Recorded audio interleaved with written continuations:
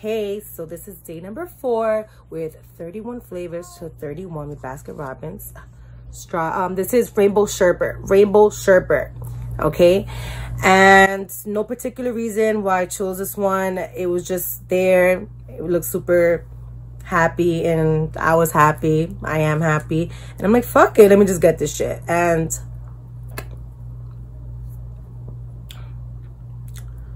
wow this is like the definition of a happy Sour Patch Kid. Like, love it. La, la, la, la, la, la. That was super ghetto, but I don't give a fuck. Wow. This is definitely... I'm like mad happy. This shit is banging.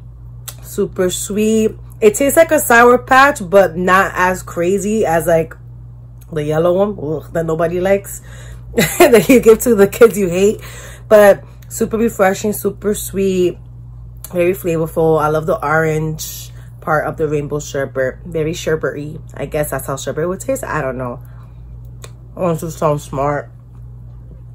I can at times. But yeah, definitely like this is one that I'll be having. Wow, I look cockeyed right there. That was crazy but whatever.